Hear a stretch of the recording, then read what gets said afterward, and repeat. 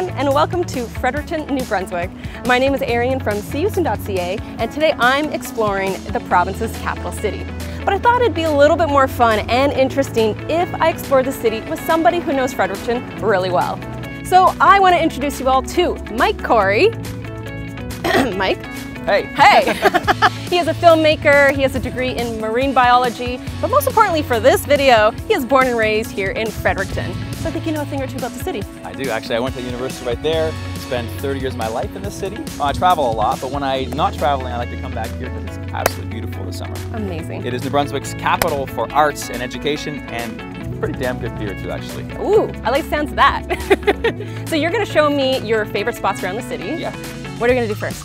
So right now we're on the north side green, and one cool thing about Fredericton is it's really, really green. And so there's walking trails all through the city, biking Mm-hmm. trails too, and there's the walking bridge. And actually, if you follow this, it leads to one of the best views in Fredericton, which is on the north side green. So we'll probably start here. Perfect, let's do it.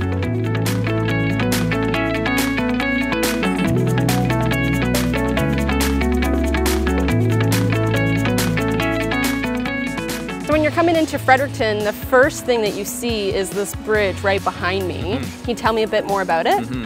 This is the walking bridge. So it is probably one of the top, it's definitely like top five things to see in the city. Yeah. This this bridge actually used to be for trains, and a lot of these walking trails we've been on actually used to be train tracks. Mm-hmm. And like mid 90s, they gutted all the train tracks out and turned a lot of them into walking trails. Probably one of the nucle- nuclei of, of being active in this city, if I want to use a big word that I don't need to use. so it doesn't matter what age you are, young or old, this Yeah. is kind of where you come and you walk across. You might go to the other side, walk back. If you're running in the city, you usually run across the bridge.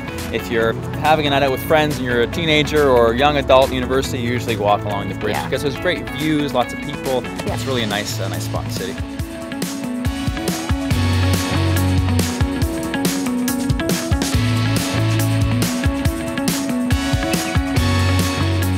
Welcome to the historic Garrison District of Fredericton. Awesome. What is it? What's is- the district? Yes, this is Queen Street, one of the two main streets in downtown Fredericton. Mm-hmm. Queen and King, and I would say pretty much all of the action happens, downtown Fredericton action happens in these two streets. Okay. So Queen Street is famous for having, I would say, most of, of Fredericton's landmarks. So Okay. City Hall is just right there, Sports Hall of Fame, Library, Officer Square, the lighthouse is just a little bit around the corner. Yeah. It's like the place to come walk and see the sights of Fredericton. Mm-hmm. So this is the Garrison District, and actually this area here is filled with arts and crafts. A lot of festivals, lots of, um, actually they have Saturday night movies here. There's Nice. music that's played, there's art, um, art craft centers where you can buy stuff.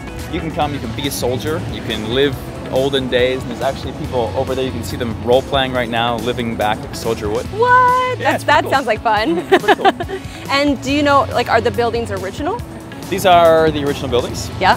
and we're quite proud of that. So Yeah. all of them have been renovated to suit different, like, as museums or, like I said, someone can come show their handicrafts or just kind of like an arts-related area. That's Yeah. all, all this All in Garrison here. District. Yeah. Perfect.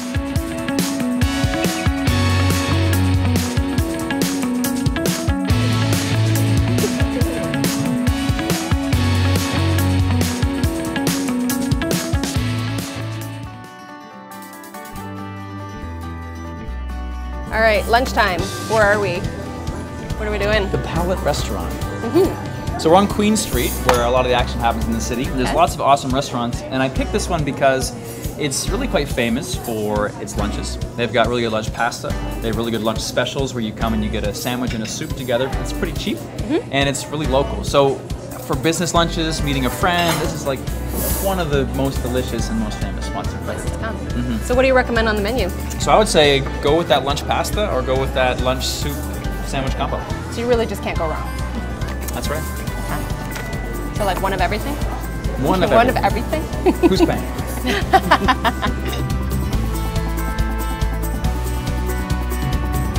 now that we've had gotten some food in our systems, I want to do a little quick Q&A rapid fire questions with you. I think I'm ready. Yeah. They're not personal questions, are they? Maybe. Maybe. I can't make any guarantees. All right, hit me. Okay. First one. What do the people of Fredericton call themselves? Frederictonians. Okay. Easy. Next easy, question. easy, right? Okay. Your favorite thing about the city? About the city, Yeah. I really like. I think it's one of the most beautiful cities in the summertime. Yeah. Uh, I like how people are always outside and having fun. I like Queen Street a lot. I think it's beautiful by the water, next to the lighthouse, the walking bridge. I think it's just a great city to just have a little walk sunset time next to the water. What's the worst thing about the city? The worst thing about the city is I feel that all those things I just said, people don't realize you can do. Ah. What do you think is the biggest misconception people have of Frederictonians? As a whole, uh, I don't even know Okay. that we like to party, Okay. which is not really a misconception, I guess. but there's, Kind of there's. Mm-hmm. a really big beer scene here, and there's two universities, and those kids love to party. Yeah. So it can get a bit wild here at, at certain at certain points. Yeah. Favorite memory you have of being here in the city?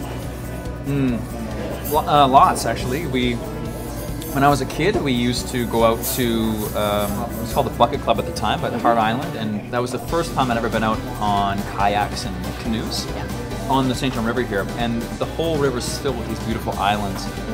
And a lot of small rivers feed into the St. John River, so you can go up the Nashwaak and have a really kind of cool nature experience, or explore the islands in the river, and it's like you have your own private Oh, island to yourself. It's really awesome. Yeah. Final question. Describe the city in three words. Oh man. Um, I would say it's a very cool city. It's like trendy city. Okay. I would say it's quite a, um, a be yourself kind of city. Okay. We'll take that as one word. Be yourself. yeah. and I would use the word nature to describe it as well. Nature. So cool. Be yourself and nature. Nature's not really an adjective. Green. How's that? Green. That works. Green will work. So cool. Be yourself and green. Awesome. You can see, that wasn't so bad. No, that was okay. Yeah. Yeah. Shaking a little bit. Just a little? Okay. so I think now what we should do is work off some of this lunch. Right. So I talked about going out in the river, and I think there's a really good spot. It's called Second Nature. Mm-hmm. Okay. You can rent stand-up paddleboards, kayaks, canoes, and it's a good old time. Let's do it. Okay. All right, so after that epic meal, I feel like we need to do a little bit of physical activity. I'm seeing some life jackets. What are we doing? Welcome to the Small Craft Aquatic Center. Mm-hmm. This is where you come in the city to rent paddleboards, kayaks, canoes, whatever you want, Yeah. to jump on the St. John River because the St. John River is one of the most iconic things in this city. So I think it's one of the best activities because you can see an awesome view, you can explore the islands, go up the little rivers that connect, and also go around the bridge piers, and it's a lot of fun. So we're here, and we're gonna rent something, whatever you're comfortable with. Okay, sweet, let's do it.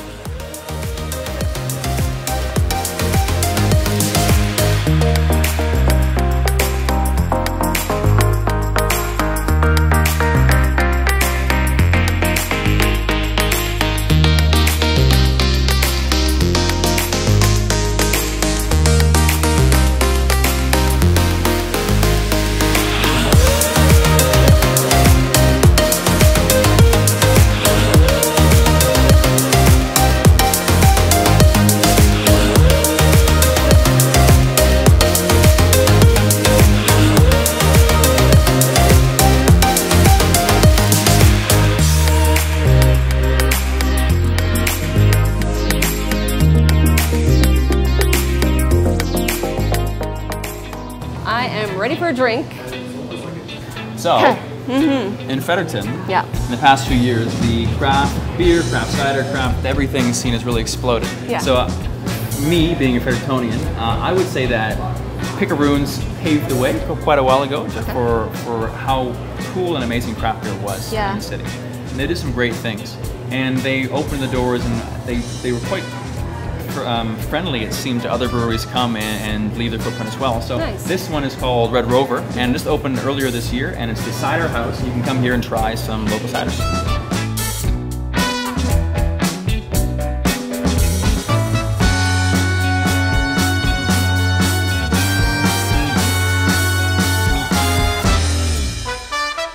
Summer, the, fire, the dragon slayer, Oh, nice. and the fall. and the fall. Awesome.